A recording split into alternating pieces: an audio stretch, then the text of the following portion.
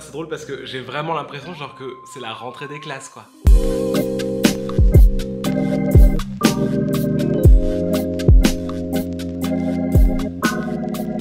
Salut par ici, j'espère que vous allez bien. Je reviens après euh, un peu plus de 15 jours, je crois, euh, de pause sur la chaîne. Pour tout vous dire, vous êtes euh, nombreux et nombreuses à le savoir, mais j'étais parti en vacances. Je suis parti en vacances en, Asie, au Japon, pendant, pendant deux semaines. Et voilà, je vous prépare un petit vlog de ce voyage, mais en attendant, je me suis dit que maintenant que je suis rentré en France et que l'automne est bel et bien là, euh, l'ambiance un peu gloomy et en même temps un peu froide s'est bien installée. On a encore euh, des belles journées euh, ensoleillées. Bref, j'aime vraiment beaucoup ce temps. Et je me suis dit qu'à cette occasion, eh bien, c'était le moment idéal pour vous faire une petite sélection, une petite recommandation livresque avec mes livres favoris à lire en automne. Je suis donc parti en expédition dans ma bibliothèque et je vous ai trouvé 6 livres, 6 titres absolument parfaits pour cet automne si vous ne savez pas quoi lire et que vous avez envie d'une ambiance un petit peu sombre, un petit peu froide, un peu automnale, bref, tout ce qu'on aime. Enfin, je dis tout ce qu'on aime, mais je sais que parmi vous, il y a des fervents défenseurs de l'été. Je ne sais pas ce que vous faites sur cette chaîne. Et on commence sans plus attendre avec le premier titre. Premier titre dont je vous ai déjà parlé mille fois sur cette chaîne, mais je me dis que tous les mois, toutes les semaines, tous les jours peut-être, il y a euh, des nouvelles personnes parmi vous qui ne connaissent peut-être pas mes titres, mes titres classiques qui sont un peu chers à, mon cœur. Euh, et vu que ça fait longtemps que je vous en ai pas parlé, je me suis dit que j'allais le montrer, le remontrer aujourd'hui. Et il s'agit, bien entendu, du titre de l'automne par excellence. J'ai nommé Apostasie de Vincent Tassi, euh, édité aux éditions du Chat Noir, édité en poche chez Helios. Et ici, j'ai l'édition spéciale euh, qui est sortie sur Ulule, je crois, euh, qui est toujours éditée aux éditions du Chat Noir. Je ne sais pas s'il est encore possible de se la procurer, peut-être sur leur site. Je ne sais pas trop, mais voilà, j'ai une très belle édition reliée de ce titre. Vraiment, qu'on ne présente plus sur cette chaîne. Enfin, je dis qu'on ne présente plus, mais je vais vous le représenter. Dans Apostasie, on va suivre l'histoire de Anthelme. Anthelme qui est un jeune homme, un étudiant euh, assez désabusé par la vie, par la société, qui va partir euh, en autarcie, vivre dans une forêt euh, assez lointaine, en, en pleine campagne. Assez proche de cette forêt se trouve une bibliothèque où il va assez régulièrement aller chercher des livres jusqu'au jour où il va tomber sur un livre euh, qui parle de la sylve rouge. Et en fait, en le lisant, il va se rendre compte euh, que cet ouvrage parle de la forêt où il a élu domicile. Assez rapidement, il va un petit peu euh, partir à la découverte de la sylve rouge. Il y rencontrera Aphélion. Aphélion qui est un être un peu éthéré, assez, euh, assez étrange, avec une aura euh, toute particulière.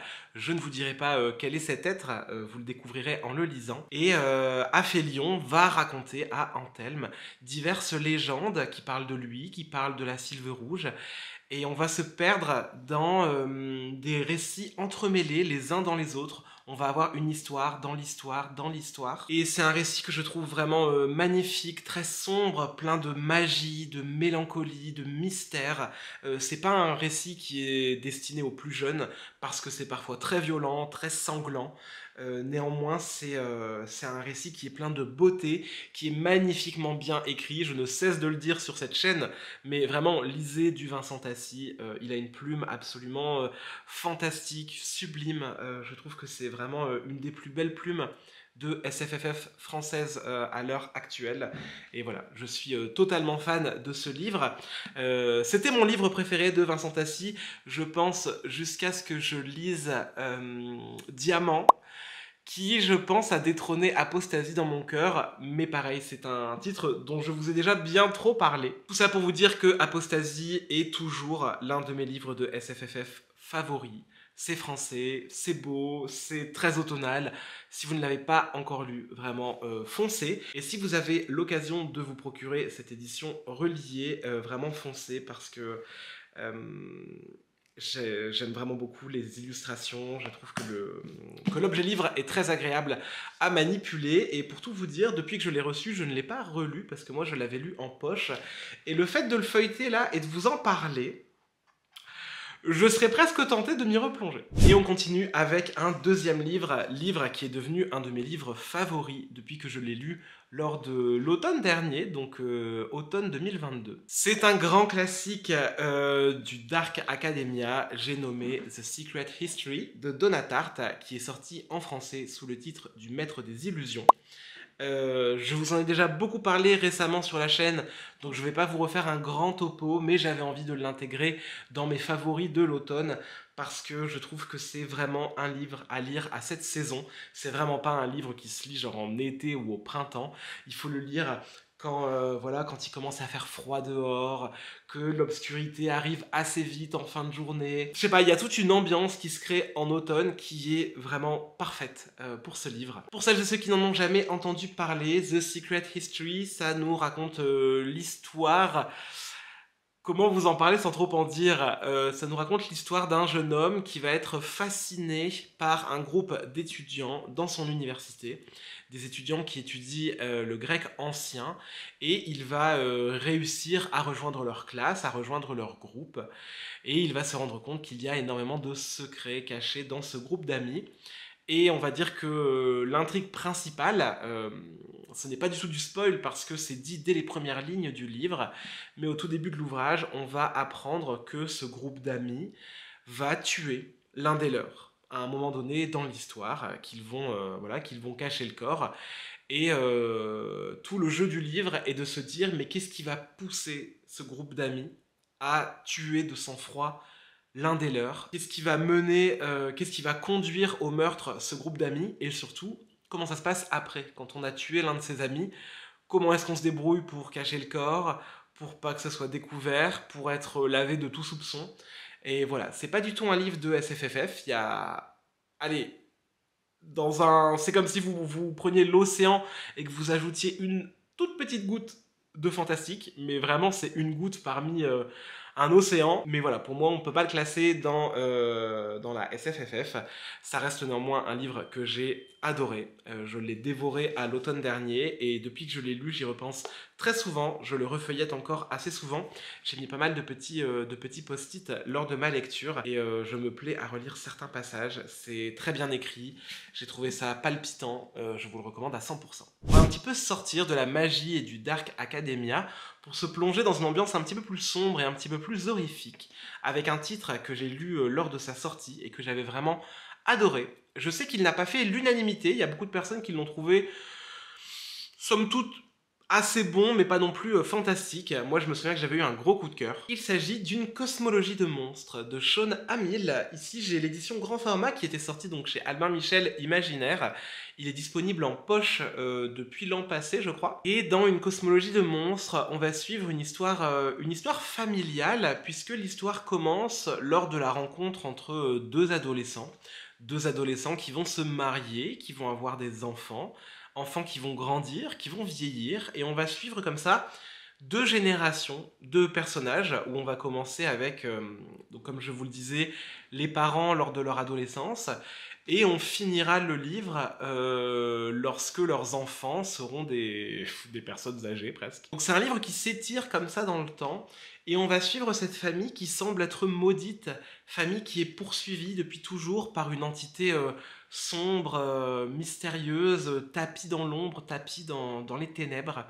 Et euh, toutes les personnes de cette famille sont presque voué, destiné à, euh, à, un sort funeste, à un destin euh, cruel. Et voilà, je ne peux pas trop vous en dire sans vous dévoiler toute l'intrigue, mais euh, on va suivre principalement quand même le cadet de cette famille qui va essayer de, eh bien voilà, de démêler tous tous ces fils entremêlés pour comprendre qu'est-ce qui se passe, quelle est l'entité qui poursuit sa famille, pourquoi est-ce qu'elle le fait. C'est un récit que je trouve vraiment très bien ficelé, j'ai adoré les personnages, j'ai adoré l'univers, j'ai adoré les retournements de situation qui sont vraiment très inattendus. Et surtout, j'ai adoré euh, l'incipit de ce livre, puisque euh, le livre commence par cette phrase. Je me suis mis à collectionner les lettres de suicide de ma sœur Eunice à l'âge de 7 ans.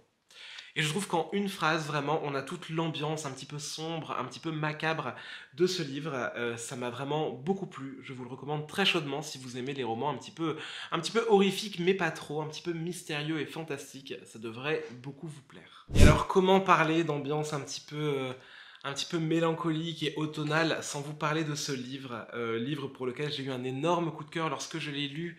Euh, je ne sais plus si je l'ai lu l'an passé ou si je l'ai lu en 2021. Je ne saurais pas vous dire. Mais, euh, je me souviens encore de, l'état dans lequel j'étais quand, quand j'ai lu ce livre et vraiment je l'ai adoré. Il s'agit de La vie invisible de Adi Larue de V.I. Schwab. Ici j'ai l'édition collector qu'avait sorti Lumen. À l'époque j'avais acheté le livre dans son édition simple.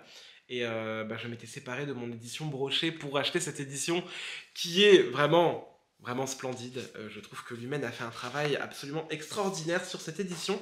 Je ne sais pas si elle est encore euh, disponible, mais si vous avez l'occasion de vous la procurer, je vous la recommande très chaudement. Je pense que je ne vais rien vous apprendre en vous parlant de ce livre parce qu'il est déjà très connu, néanmoins je vous refais le topo euh, en quelques minutes, voire en quelques secondes. Dans la vie invisible d'Adi Larue, on va suivre le personnage de Adi Larue qui est né, euh, je crois, fin du Moyen-Âge. Hein, euh... oh non, non, bien plus loin que ça, le livre commence en 1714. Et, et Adi Larue va être promise à un jeune garçon de son village, sauf qu'elle ne veut pas se marier, elle décide de fuir, de fuir dans la forêt et elle va euh, faire un pacte avec ce qui semble être le diable dans la forêt, qui va euh, lui promettre euh, la vie éternelle, mais en contrepartie, personne ne se souviendra jamais d'elle. Et donc, on va suivre l'histoire de Adi qui va vivre et traverser les siècles jusqu'à notre époque Adi qui est donc sous le joug d'une malédiction euh, qu'elle ne peut pas contrer. Euh, en fait, dès qu'elle s'adresse à quelqu'un,